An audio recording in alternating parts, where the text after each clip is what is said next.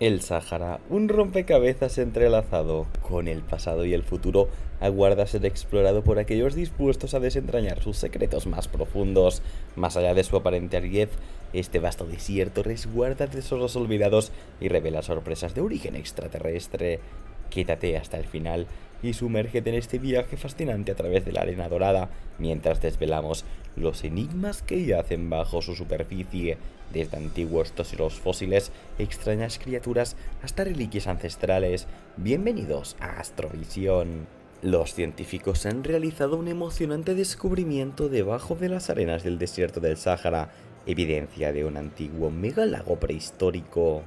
Hace unos 250.000 años, cuando el río Nilo encontró un canal subterráneo en Wadi Tushka, se abrió paso hacia el este del Sáhara, inundando la región y creando un lago masivo. En su nivel más alto, este lago cubría más de 52.000 millas cuadradas. El geólogo del Museo Nacional del Aire y del Espacio Ted Maxwell y su equipo recientemente detectaron pruebas de este antiguo lago mientras examinaban datos de radar de Egipto recolectados por la misión de topografía de radar de transbordador espacial.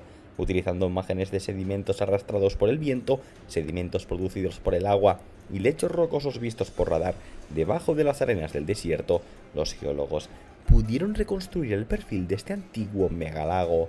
La extrema aridez de Egipto ha mejorado la capacidad del radar para visualizar diferentes características del subsuelo, permitiendo la detección de canales enterrados hasta 50 pies debajo de la superficie del desierto, mediante el estudio de peces fósiles encontrados en depósitos a unas 250 millas al oeste del Nilo y a 810 pies sobre el nivel del mar, los científicos han podido identificar la costa más alta del lago. Se estima el Nilo inundó toda la depresión del Wadi Tuska, creando este lago gigante.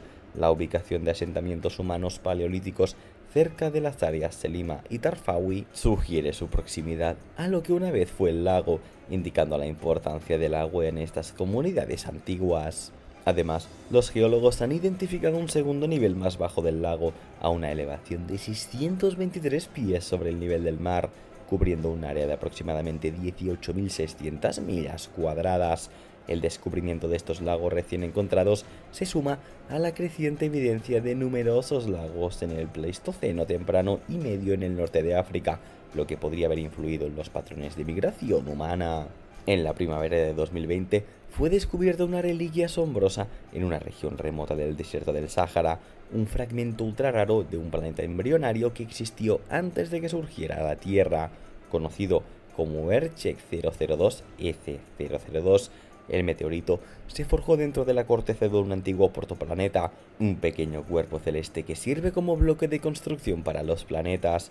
La roca espacial volcánica es la lava más antigua conocida que haya caído a la Tierra y ofrece una mirada sin precedentes a la formación planetaria en el sistema solar temprano.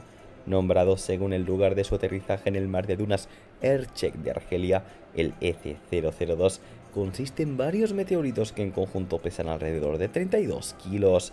Las rocas extraterrestres, que contienen cristales impresionantes, fueron encontradas en mayo de 2020 pero la erosión que presentan sugiere que cayeron en el desierto mucho antes. Después de obtener muestras del meteorito, se pudo precisar cuándo se cristalizó en una forma sólida este trozo de corteza de protoplaneta, el cual previamente se derritió de forma parcial como lava.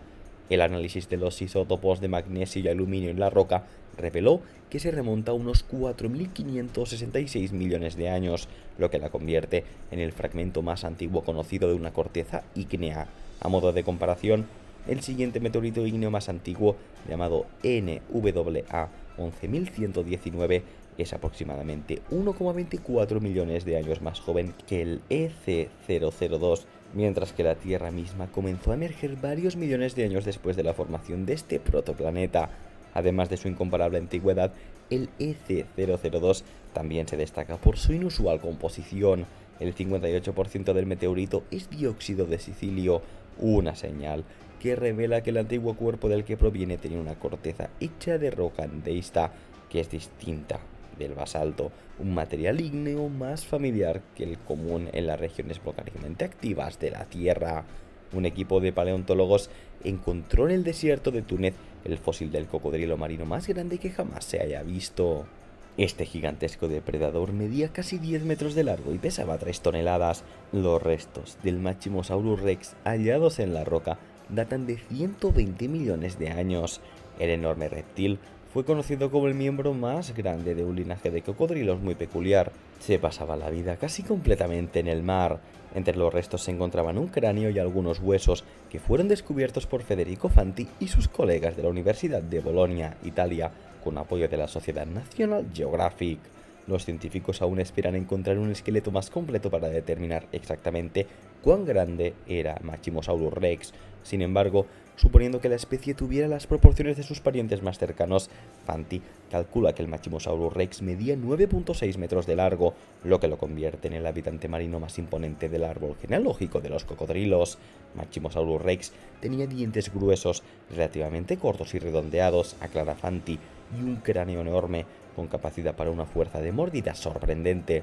Esto da a suponer a los investigadores que el cocodrilo era un cazador generalista que atacaba una gran variedad de presas, incluyendo tortugas marinas grandes. Si te está gustando el vídeo, asegúrate entonces de activar la campanita y suscribirte a nuestro canal. Prepárate, que ahora vienen los descubrimientos más fascinantes. Recientemente, un equipo de investigadores egipcios ha desenterrado un fósil de 43 millones de años en el desierto del Sáhara de una ballena anfibia de cuatro patas, ahora extinta. La ballena recién descubierta pertenece a los Protoceidae, un grupo de cetáceos primitivos extintos que vivieron en Eurasia, África y Norteamérica. Las particularidades de su esqueleto muestran que tenía características únicas en el cráneo y su mandíbula sugiere una capacidad para un procesamiento mecánico oral más eficiente.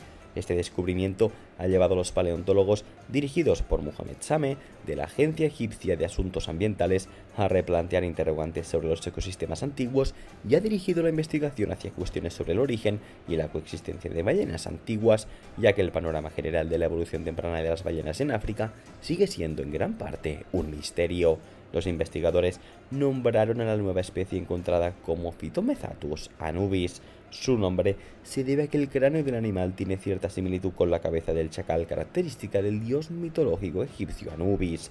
Se estableció que la especie tenía una longitud corporal estimada de 3 metros y una masa de alrededor de 600 kilos, capaz de morder fácilmente a sus presas, tanto en el agua como en la tierra. Su fósil fue desenterrado de rocas del Océano Medio de la Depresión del Fayum en el desierto occidental de Egipto, un área que alguna vez estuvo cubierta por el mar y que ha proporcionado una rica veta de descubrimientos que muestran la evolución de las ballenas. Y por último, una piedra del desierto egipcio es la primera prueba terrestre de una rara supernova. Pero, ¿cómo acabó este fragmento en la Tierra? Los autores creen que en algún momento su trayectoria se fijó hacia nuestro planeta, donde el calor de entrada de la atmósfera terrestre, combinado seguramente con el impacto, destrozó la roca madre, sembrando de fragmentos con microdiamantes el desierto del suroeste de Egipto. Si esta hipótesis es correcta, la piedra Hipatia sería la primera evidencia tangible en la Tierra de una explosión de supernova tipo la. Y esto es todo por hoy amigos. Recuerda regalarnos un like y dejarnos tus comentarios. A ti no te cuesta nada y a nosotros nos ayuda un montón. Te dejamos con más contenido interesante a continuación. Hasta la próxima.